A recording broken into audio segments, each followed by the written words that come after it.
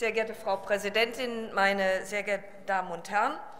Wir beschäftigen uns heute noch einmal mit dem Gesetzentwurf der ARD zum Rettungsdienstgesetz. AfD. AfD, habe ich doch wirklich AfD. Ja.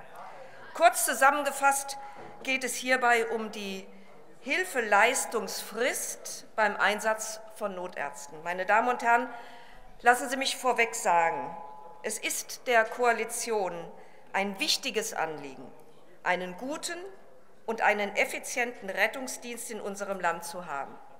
Dazu gehört auch, dass dieser und die gesetzlichen Rahmenbedingungen regelmäßig auf den Prüfstand gestellt werden und wir die Rettungsdienste nach bestem Wissen und Gewissen unterstützen.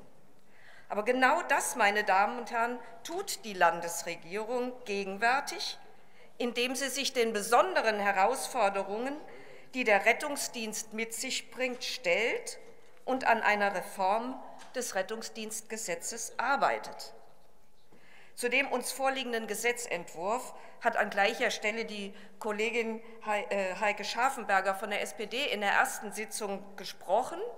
Und danach haben wir uns auch noch einmal ausführlich im Innenausschuss mit der Materie befasst.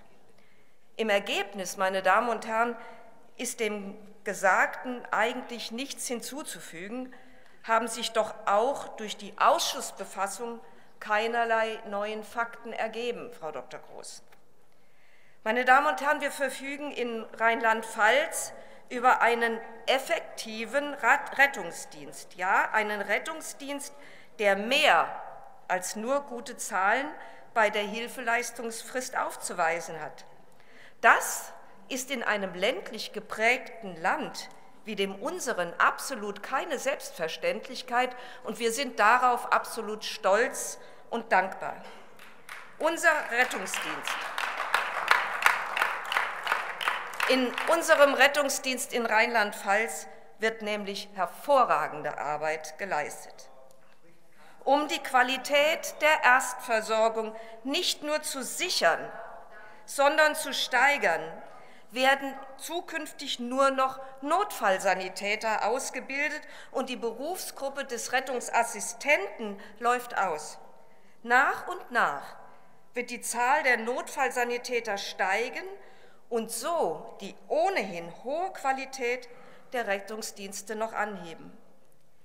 Die eben genannte tiefgehende Ausbildung führt dazu, dass die Notfallsanitäter, aber auch die äh, Rettungsassistenten alle relevanten notfallmedizinischen Maßnahmen, die präklinisch notwendig sind, ergreifen und durchführen können. Und das ist das ganz entscheidende Argument.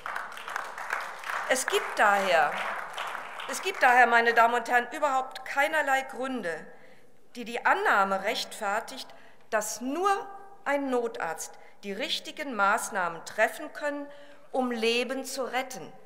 Das ist ganz wichtig. Man darf sich hier eben nicht in die Irre führen oder verängstigen lassen, Frau Dr. Groß.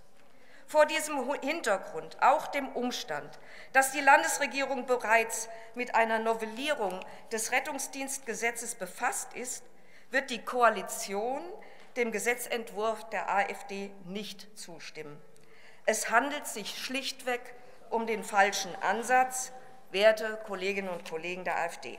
Gleichzeitig fordern wir aber auch Sie auf, alle hier Versammelten auf, auf sich konstruktiv in diesen Reformprozess des Rettungsdienstgesetzes mit einzubringen. Ich danke Ihnen.